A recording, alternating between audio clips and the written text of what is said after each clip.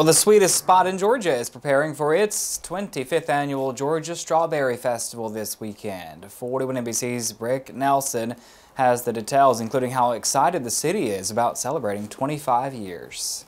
There is a buzz and an excitement around town. When it gets closer to the festival, you start seeing the signs about a month out and then weeks out. You see more, you see shirts. They do a really good job of, you know, getting the build up, and we see it here at the Strawberry Patch. Reynolds is ready to celebrate a milestone as the 25th annual Strawberry Festival is set to begin. According to Tyler Wainwright with the Strawberry Patch, the festival brings in people from across the state.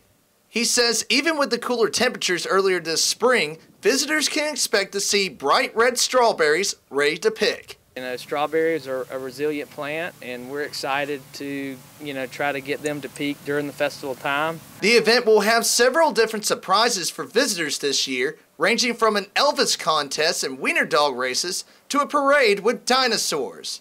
Executive Director of the Taylor County Chamber of Commerce, Nichole Acree, says hosting the festival is a community effort. We have um, everybody from Butler, Reynolds, commissioners, city council members, all the business owners this whole event is ran by volunteers only, so it's a huge event to get us all together. Businesses in Reynolds are also excited to bring in more foot traffic and meet new customers. Owner of Tim's Fireside Grill, Tim Gaines, says visitors get to see everything the downtown area has to offer. It's just all the things that they do. They do such a great job putting putting everything together. The things that uh, the the different booths, the the food, all the different things just bring people here to to enjoy what they got going on. I think that it just brings our businesses closer together in the community, and we have a lot of new people moving to our community, so this is a great time for us all to meet and network together. In Reynolds, Brick Nelson, 41 NBC News.